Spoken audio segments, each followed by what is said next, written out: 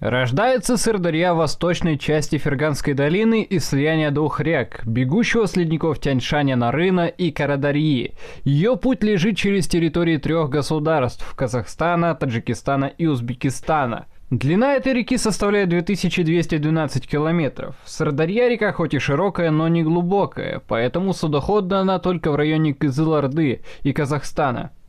На состояние реки оказывает большое влияние ирригационная система, так как воду из нее издавна использовали для орошения засушливых регионов, и в настоящее время насчитывается порядка 700 каналов, выводящих воду с Сардари в поля и промышленные районы. В своем среднем течении река образует многочисленные притоки, поэтому ее пойма низменная, местами заболоченная и заросшая камышом, тростником и тугайными лесами.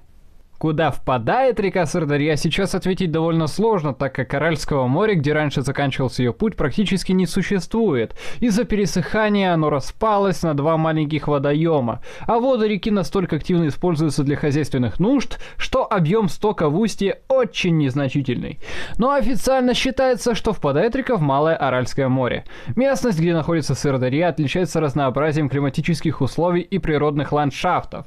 С незапамятных времен люди селились находились на берегах Сырдарьи, используя ее воду для орошения полей.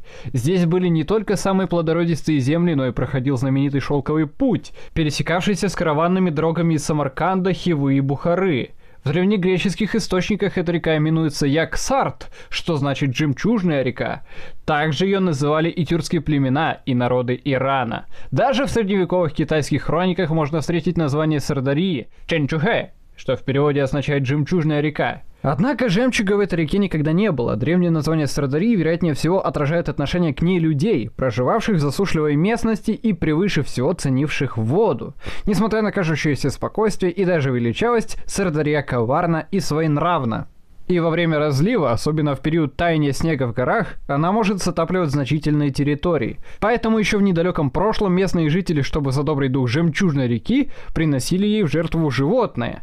На берегах Сырдарьи расположено много исторических памятников и достопримечательностей. Например, Худжант, возраст которого более 2500 лет. Сыгнак, известный сейчас как город Сунак-Ата.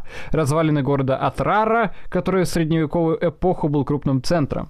Но Атрар позже уничтожил один один из сыновей Чингисхана, а город больше и не восстанавливался. Площадь бассейна Сырдарьи составляет более 200 тысяч километров. Объем воды в верхнем ее течении в основном зависит от многочисленных ручьев и речушек, питающихся талыми водами ледников. Крупные притоки Сырдари находятся в среднем течении. Это Келес, Черчик и Ангрен. Самый большой и полноводный из них – Черчик. У Сардарьи множество и более мелких притоков, таких как Канасай, Чадаксай, Хашимардан, Сох, Бугунь, Исфарамсай и прочие. Последний свой приток Арыс река принимает в нижнем течении на границе с пустыней Кызылкумы. Сардарья – река, дающая жизнь. Она в буквальном смысле слова поддерживает существование и благополучие огромного региона. И люди безостенчиво пользуются ее щедростью, не учитывая, что пополняется Сардарья почти исключительно за счет дождей и таяния ледников. Если данное видео вам понравилось, будет не лишним поставить лайк и подписаться на канал. Рацебуш вам благодарен!